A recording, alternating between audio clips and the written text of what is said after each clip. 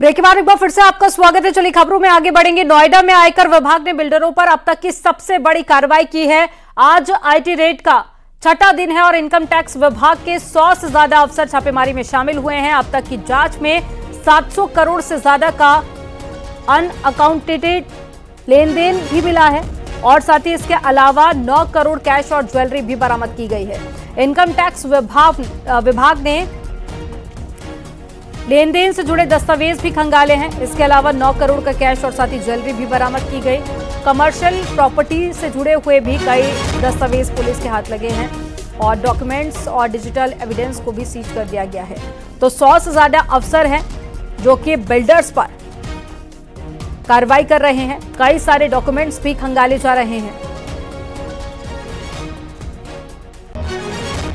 Delhi NCR में आयकर विभाग की अब तक की सबसे बड़ी कार्रवाई छठे दिन भी आयकर रेट जारी है। आपको बता दें, logix builder, group 108 Bhutani group, और इसके अलावा कई अन्य बिल्डरों पर शिकंजा कसा गया, लगातार टैक्स चोरी की शिकायतें मिल रही थी और उसके बाद अब ये छापेमारी की गई है।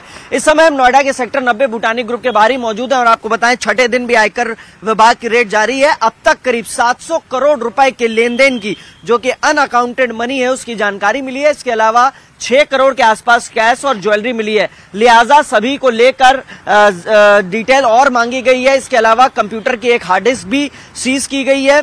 और जो तमाम डॉक्यूमेंट्स है, डिजिटल एविडेंस है। यहाँ पर वक्त हो गया एक छोटे से ब्रेक का। आप देखते रहिए न्यूज़ एटीन